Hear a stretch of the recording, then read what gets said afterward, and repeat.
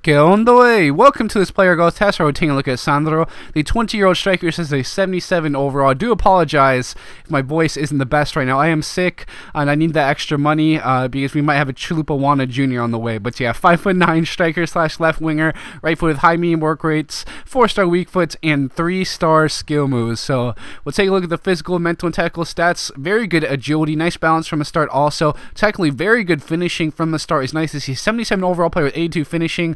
Ball control is pretty nice. Also, good the free kicks, long shot, shot power, curves, and volleys are all pretty solid. Of course, without training, uh, those strikers do grow quite a bit in the long shots, volleys, uh, and you'll definitely see that right away here. So if you're good at those free kicks, he definitely could be a nice little player for you as a free kick accuracy. And a lot of other stats improve right away. Good to see that type of growth uh, from the start. And now a plus three, 82 overall, getting pretty close to hitting that potential already. Uh, with more, more improvements to that finishing, that shot power, the long shots, volleys also, and the pace getting some nice improvements as well. Uh, more specifically, the acceleration grew a lot. So you can see a plus for the acceleration again, 84 overall, just about to hit that potential. And uh, you can see a lot of dark green in the in the technical stats, ball control, dribbling, finishing, uh, looking pretty good. The short pass not too bad, of course. Long shot, shot power, etc. Volleys uh, are kind of the main area for him.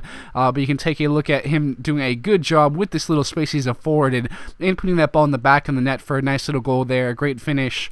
Uh, I do apologize for my voice like dying right now, but I love you. I need to get this video out. But uh, again, running at the defense, some good build up play. Now makes just a great run here, gets in that spot, uh, doing a good job with that dribbling from the starts uh, of that play. I like that dribbling he has. You can see it again here, that quick turn, see that agility, that dribbling coming into play, and taking a shot on goal. Now, an absolute beast of a long shot. Again, the long shot, the shot power, the volleys, the finishing are all pretty high up there. So he has a very powerful shot. Once he does get into that box, he's not going to miss very often. You can see this quick little turn also that agility was wonderful with him. You have that agility, you have that shot. You can do this quick little turn and then put that ball in the back of the net, like you, you can see here. That's a great turn and a lovely finish from him. You'll see one more highlight to cap cap things out uh, here, getting behind that defense, doing a nice job tucking that ball away uh, for the final highlight here. So a very good striker who definitely play out on that wing, but for me, uh, he was just very good as a striker in those tight little spaces, turning, taking shots on goal. You can see a lot of improvement over the years, a lot of darkening those technical stats as well as those physical stats. Uh, you can see uh, some good improvement all around, but acceleration, the physical stats along with strength got some good growth, jumping as well. Mental stats, not too much there, but technical stats, dribbling, ball control, uh, you know, finishing, free kick accuracy, short pass got some really good improvements as well. Shot power, long shots, volleys, and curve looking very good as well.